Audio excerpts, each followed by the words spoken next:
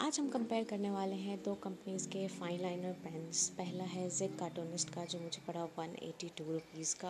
और दूसरा है माइक्रॉन पेन्स जो मुझे दो पड़े टू फोर्टी रुपीज़ के। I got zero zero three and zero zero five in both companies this is zero zero three You can see how fine they are in compared to Octane gel pen.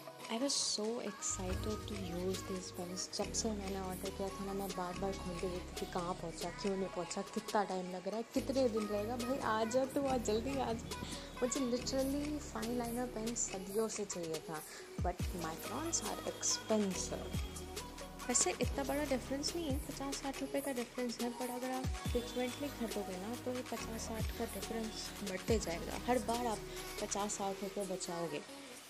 In fine liner pens are बुरी लत आपने एक बार शुरू कर दिया ना, फिर आप आप नहीं कर सकते। आप नॉर्मल पेन से चाहोगे कि मैं कर दूँ, नहीं होगा। So you have to buy it again and again मैंने ज़्यादातर इस स्केच में यूज़ किया है अपना पुराना ऑफलाइन जेल पेन, क्योंकि मुझे इतनी फाइन लाइनिंग की ज़रूरत नहीं पड़ी।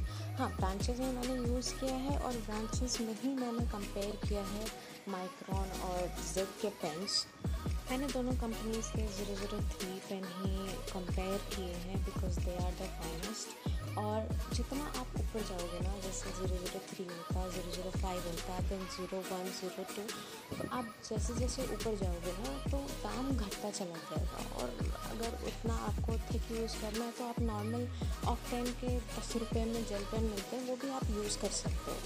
यहाँ पे मैंने दोनों ब्रांचेस में अलग अलग पेन यूज़ किए। Can you see the difference because I seriously don't see the difference oh my god they they turn out to be so good. Like, can you see the detailing?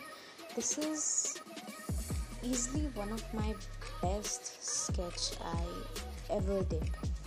और अगर दोनों pen के comparison की बात करें preference की बात करें तो मैं तो कहूँगी कि जिक के कार्टूनिस्ट पेन को बिल्कुल ट्राई कीजिए। मुझे कोई डिफरेंस नहीं दिख रहा दोनों में और कमेंट में ज़रूर बताइए कि आपको कैसा लगा।